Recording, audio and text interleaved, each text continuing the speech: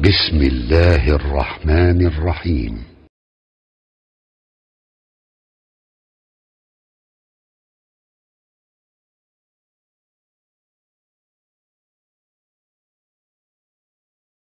أعوذ بالله من الشيطان الرجيم. بسم الله الرحمن الرحيم. الحمد لله رب العالمين. وصلى الله على سيدنا محمد وعلى آله وصحبه وسلم أجمعين.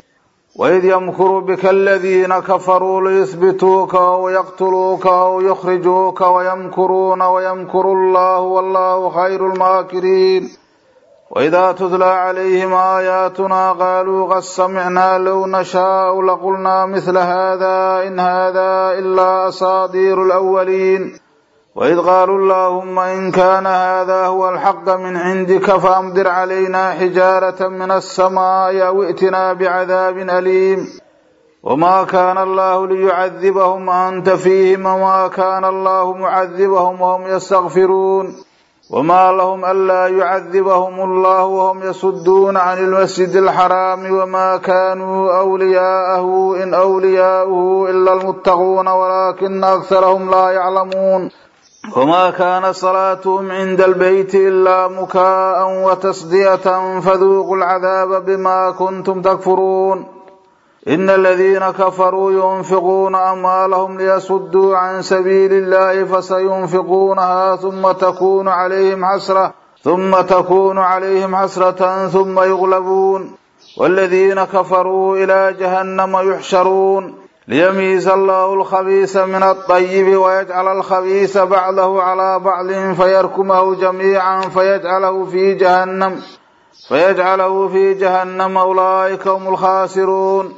قل للذين كفروا إن ينتهوا يغفر لهم ما قد سلف وإن يعودوا فقد مضى السنة الأولين. بسم الله الرحمن الرحيم.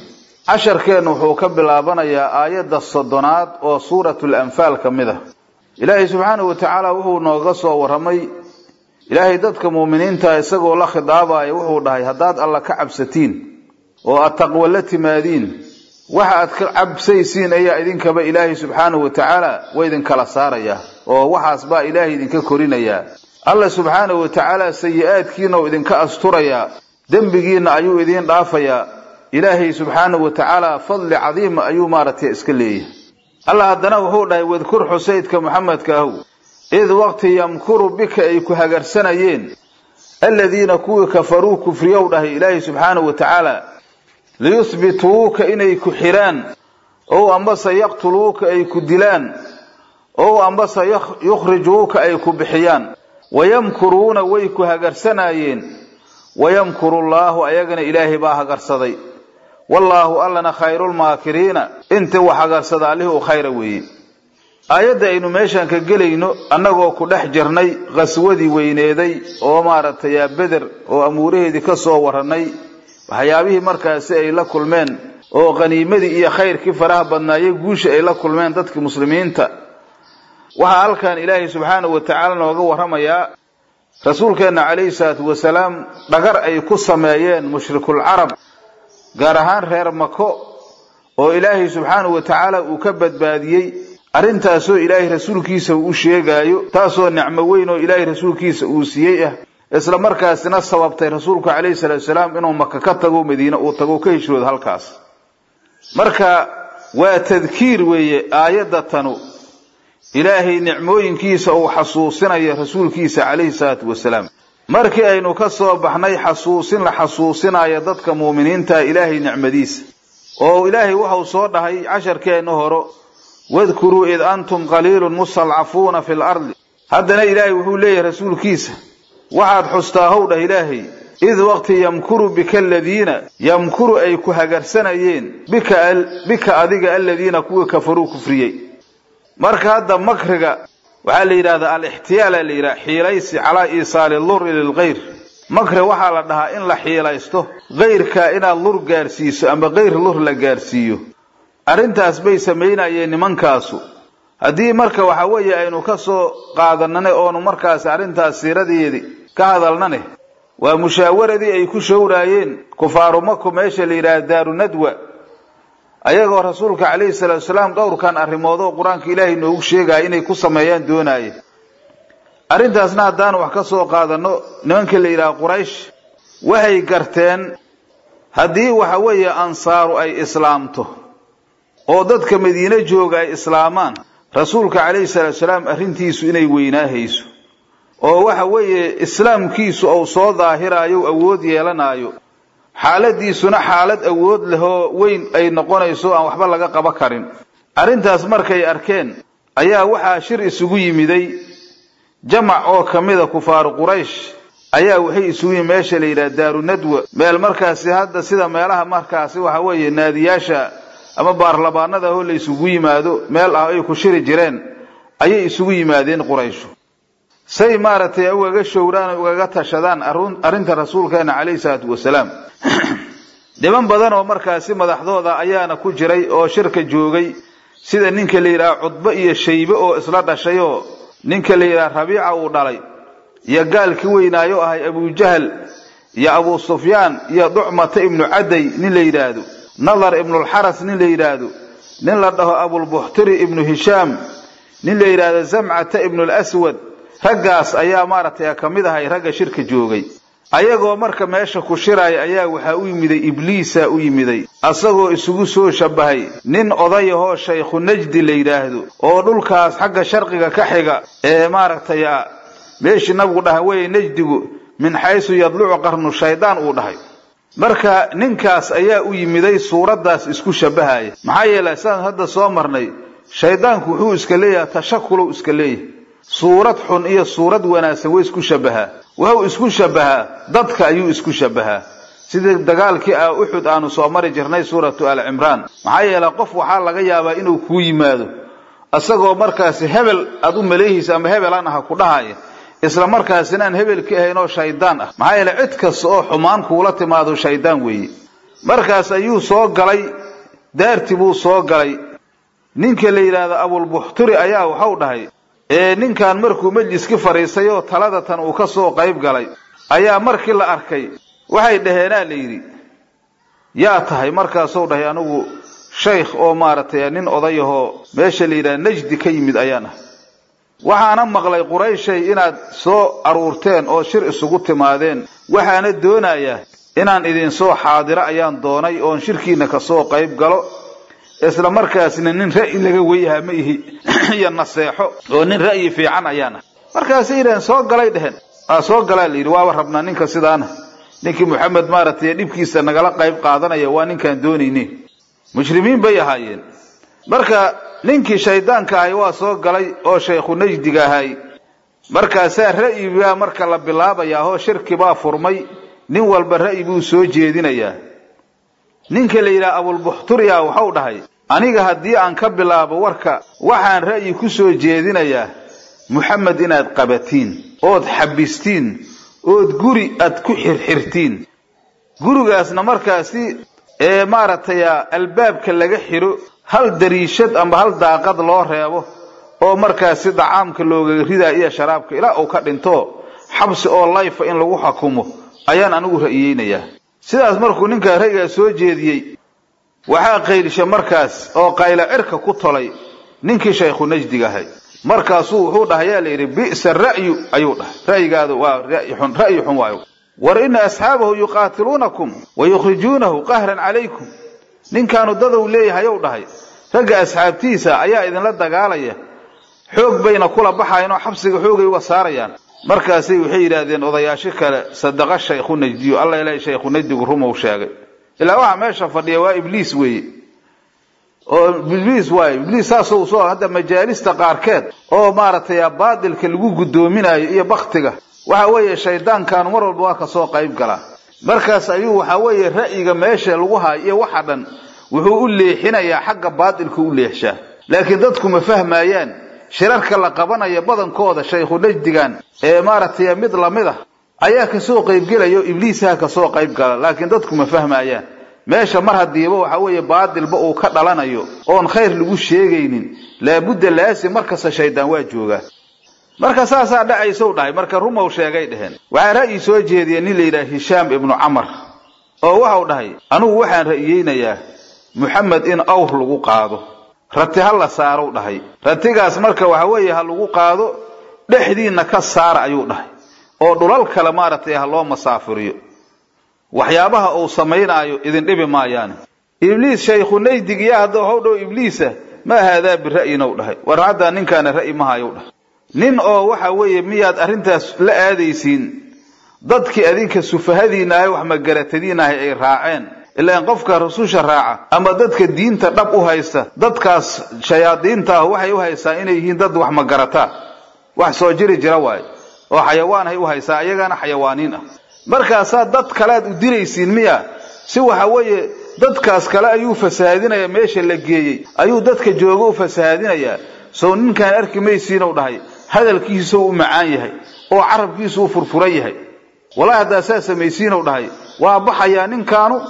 Dadka kale ayuu qulubtooda soo jiidanayaa markaasaa waxa weeye asagoo markaasi idiin socda oo ciidan soo yeesha u imaanayaa markaasuu bilaadiina idinka saarayaa arrinta saasaan ka leeyahay u dhahay.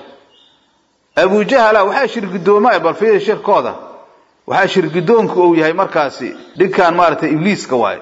Abujahala markaas waxau dhahay anugu waxaan riyeynayaa in qabiil kasta ama jilib kasta oo quraysha nin dhallinyaraa laga soo qabto.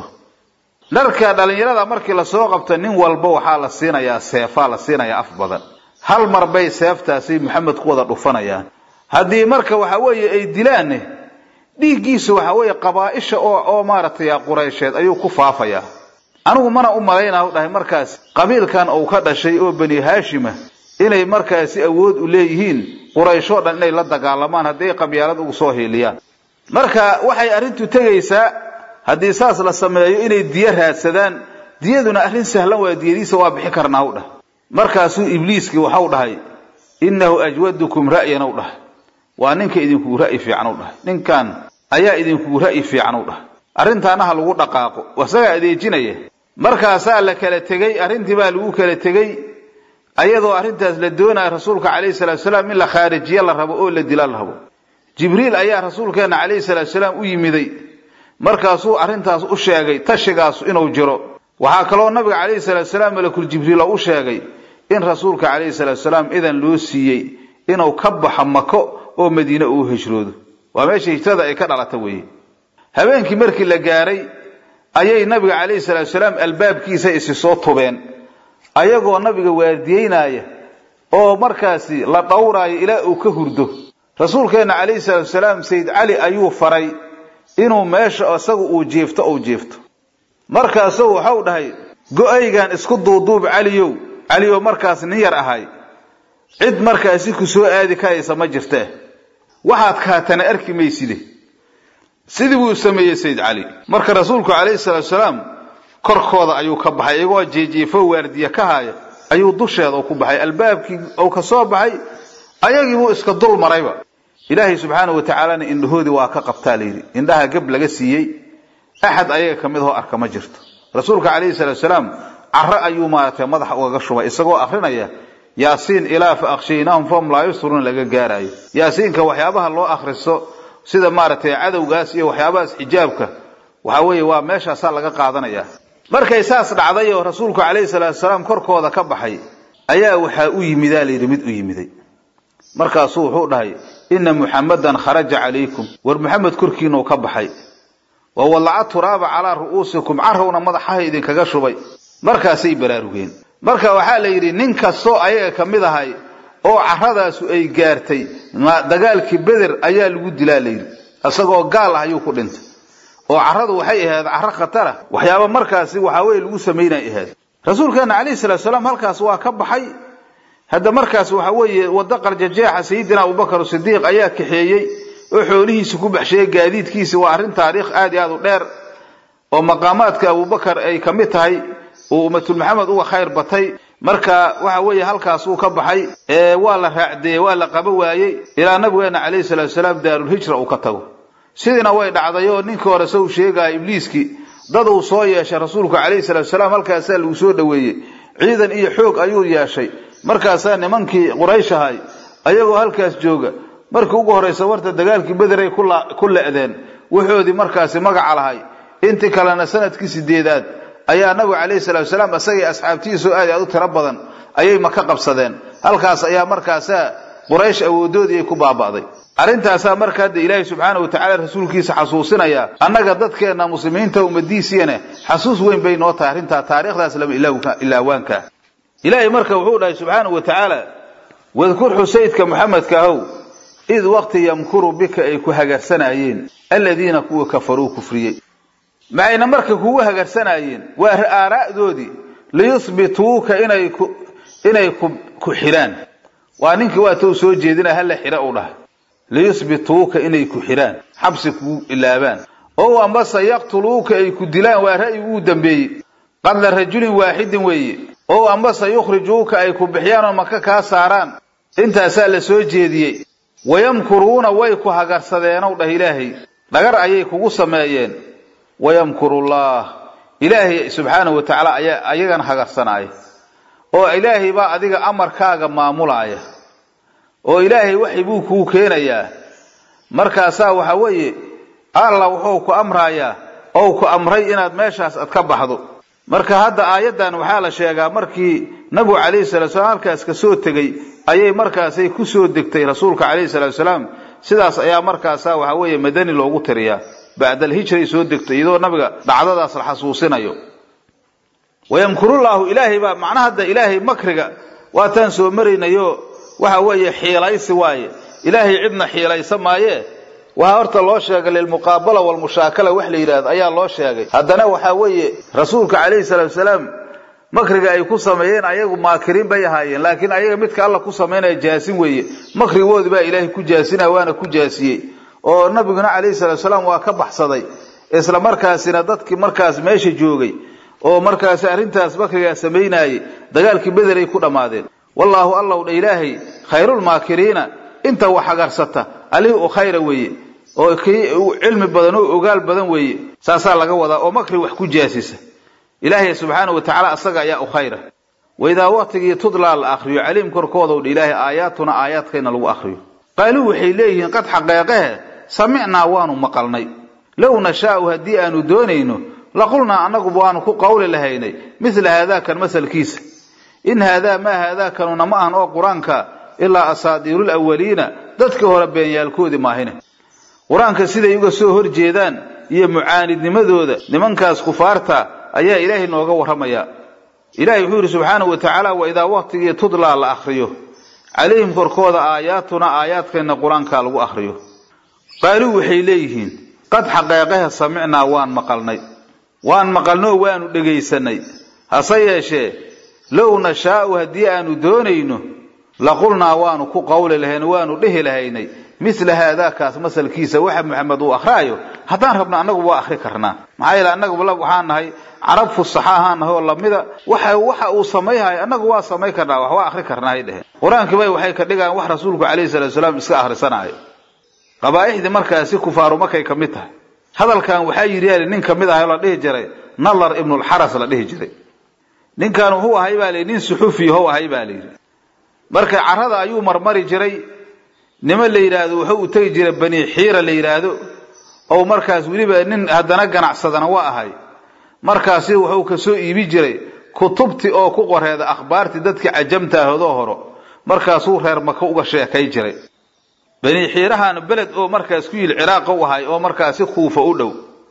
Waxa uga sheekay jira furuski. Nimankan hadda furuska iyo maaragtay reer ruum ayuu ugaga sheekay jiray. Nimankan hadda iiraanta waa dad jiray iyo romaanka iyo taariikhdoodii uga sheekay jiray.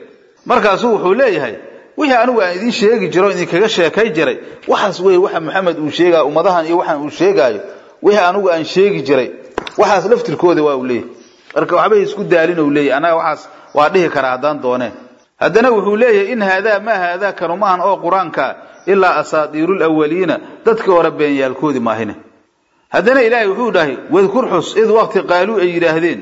Allaahuma yaa allaahu allaheenow in kaana haddou ahaada haadaa midkaan maxamed akrinaayo huwa alxaqa mid xaq ah oo ka soo degay min cindika agtaada fa amdir madaray calaynaa korkayna xijaaratan dhagxaan min asamaa'i samada nooga madaray aw i'tinaa amba noola imow bicadaabin cadaab cadaabkaasoo aliimu limi oo xanuujiya hadalkan isagana waxaa dhaha nadarkaas amba abujahalaa dhahaa layidhi jeesjaas ou markaasi rasuulka iyo qur'aanka uu ku jeesjeesaayo iyo asagoo dadka markaasi ku wareerinaya inuu asagu basiiro uu ku sugan yahay qur'aankana haddana budlaankiisa markaasi goynaya iyo rasuulku waxa uu wata calayhi salaatu wasalaam laakiin hadda habaarka iyagoo ku dhacayo waa ti ilaahay aanu soo maraynay itastakiisuuna rabbakum fastajaaba lakum.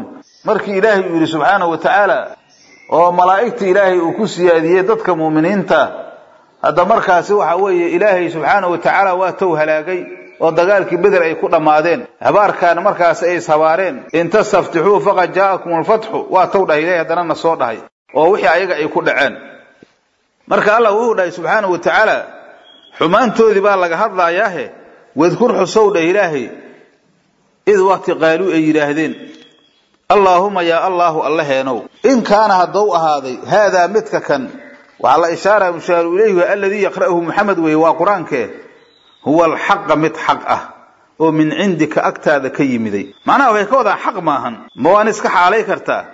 Min cindika xaal uu ka ahaaday fa amdir ku roobay ay yidhaahdeen calaynaa korkayna xijaaratan dhagxaan min asamaa'i samada nooga soo roobay awi'tinaa ama noola imaw oo nookeen bicadaabin cadaab cadaabkaasoo aliimi ulimi oo xanuujiya jeesjeesay ka wadaan marka hadalkaas markay yidhaahdeen allah wuxuu dhahay subxaanahu wa tacaala wamaa kaana allaahu alla ma uusan ahaanin liyucadibahum inuu cadaabaayo oo waxaan ilaahay ay weydiiseen alla ku cadaabi maayo wal xaal anta adiguna fiihim dhexdooda aad ku sugan tahay maxaa yeele cadaabku markuu degaayo cadaab markuu soo dego dadka dhammow calmi maaha. Ummadna lama cadaabin ilaa nabigeedu markuu ka baxa mooyaane iyo mu'miniinta. Ee hadda idoo saan laysu dhex jooga lama cadaabaayo. Waxaa kaloo la leeyahay ilaahay maba cadaabaayo? Rasuulka calayhi salaatu wasalaam markii ilaahay uu soo bixiyey ilaa qiyaamadu ay ka qunto cadaab oo isti'saala oo la jirid goynaayo gaalada lagu cadaabi maayo. Maxaa yeele rasuulkeena ilaahay waxuu la soo diray raxmatan lilcaalamiina isagoo ah marka allah wuxuu dhahay wamaa kaana allaahu alla ma uusan ahaanin liyucadibahum inuu cadaabaayo waxay su'aasheen wal xaal anta adiguna fiihim dhexooda aad ku sugantihin wamaa kaana allaahu alla ma uusan ahaanin mucadibahum inuu cadaabaayo wal hum ayaguna yastakfiruuna ay dhaafi dalbaayaan. Wamaa kaana allaahu alla ma uusan ahaanin mucadibahum inuu cadaabaayo wal xaal hum ayaguna yastakfiruuna ay dhaafi dalbaayaan dhaafi dalbidan maxay ahayd istikfaartooda mid ictibaar lahaa marka istikfaartooda way anfacaysaa la yidhi oo cadaab kuma soo degaayo. Istikfaartoodaana waxay aheedaa la yidhi markay dawaafaayaan waxay dhihi jireen qufraanaka qufraanaka ay dhihi jireen la yidhi. Laakiin amba waxaa la yidhi waxaan istikfaarta dalbaaya waa mu'miniinta la yidhi. Mu'miniinta musalcafiinta ahoo markaas iyaga ku dhex jirtay ayaa loola jeedaha la yidhi maxaa yidhi ilaahay waxau dhahay low tazayaluu lacadabna aladiina kafaruu minhum cadaaban aliima. Haddii ilaahay yidhahdo waan ugtegi doonaa. Marka istikfaarta tooda loolama jeedee dadka musalcafiinta ahoo ayaga dhex jooga istikfaartooda laga wadahaa la yidhi ama waaba toodoo waxa weeye taas waxaa loogu dhaafayaa in cadaabkan adduunyada ayaa looga rafcinaya taas iyadana waa la yidhi. Waayahay. Marka hadda ilaahay qur'aanka meelo badan wuxuu dhahay wamaa ducaau lkaafiriina ilaa fii tabaabin. Haddee ducadoodu waa khasaaro. Haddana saanaa leeyahay waxaa leeyahay istikfaartoodu waxay ku anfacaysaa adduunyada leeyahay faqad marka labadan aayadood waxa looga hadlaayo waxa weeye maa yaxsulu fi laakhirati waxa aakhira u xasilaa weye acmaasha kufaarta oo saalixada waxa weeye oo niyada aan u baahnaynin sida sadaqooyinka iyo ficlulmacruufka iyo istikfaarta adduunyada waa ku anfaci ha layidhi cadaabkana way ka daaficaysaa ha layidhi laakiin aakhira waxba u tari mayso ama waxaa laga wadaa ha layidhi istikfaartan dadka maaragtay musalcafiinta oo dhexdooda jooga istikfaarta istikfaarsanayaan markaasuu dhah ilaahay wamaa kaana allaahu alla ma uusan ahaanin. Mucadibahum inuu cadaabaayo wal xaal hum ayaguna yastakfiruun ay dhaafi dalbayaan. Haddana ilaahay wuxuu dhahay wamaa lahum maxaa lahaantooda ah oo anlaa yucadibahumullaahu alla uusan u cadaabaynin. Marka hadda waxaa weeye casharkeena dambe ayaan halkaas ka bilaabaynaa hadda casharkeena intaasuu ku egyahay. Wallahu subxaanahu wa taala aclam. Wasalaamu calaykum waraxmat ullaahi wabarakaatu